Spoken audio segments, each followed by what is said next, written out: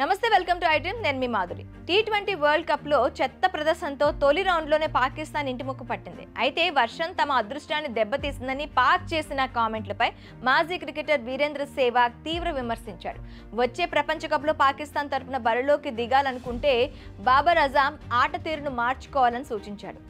అమెరికాతో జరిగిన తొలి టీ ట్వంటీ మ్యాచ్లో సూపర్ ఓవర్లో పాకిస్తాన్ ఓటమి పాలైంది. తర్వాత భారత్ చేతిలో పరాజయాన్ని మూటగట్టుకుంది. ఆ తర్వాత కెనడాపై విజయం సాధించి అదృష్టం కోసం ఎదురు చూసింది అమెరికాపై ఐర్లాండ్ విజయం సాధించాలని ఆ తర్వాత ఐర్లాండ్ను ఓడించి తదుపరి స్టేజ్కు చేరాలని ఆశించింది.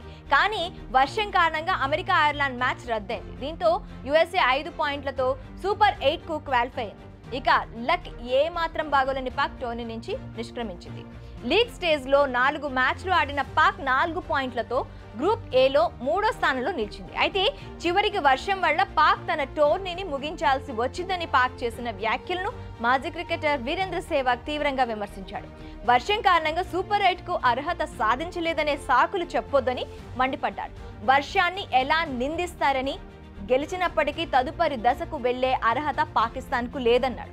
భారత్పై నూట ఇరవై పరుగుల లక్ష్యాన్ని కూడా ఛేదించలేకపోయారని ఎద్దేవా చేశాడు వీరేంద్ర సెహ్వాగ్ ఇక పాకిస్తాన్కు వెళ్ళిన తరువాత బాబర్ అజాం సేన తమ ప్రదర్శన గురించి సమీక్షించుకోవాలని వీరేంద్ర సెహ్వాగ్ సూచించాడు. పొట్టి ఫార్మెట్లో ముందుకు వెళ్ళడానికి ఏం చేయాలో ఆలోచించాలని చురుకులంటించాడు. రెండు వేల ఏడు తొలి టీ ట్వంటీ ప్రపంచ కప్లో పాకిస్తాన్ రన్నరప్గా నిలిచింది. ఆ తర్వాత రెండు వేల తొమ్మిదిలో ఏకంగా ఛాంపియన్గా అవతరించింది. రెండు వేల పది రెండు వేల పన్నెండు రెండు వేల ఇరవై ఒకటిలో సెమీఫైనల్స్ వరకు వచ్చింది. ఇంకా రెండు వేల పద్నాలుగు రెండు వేల పదహారు ప్రపంచ కప్లో సూపర్ టెన్కు అర్హత సాధించింది.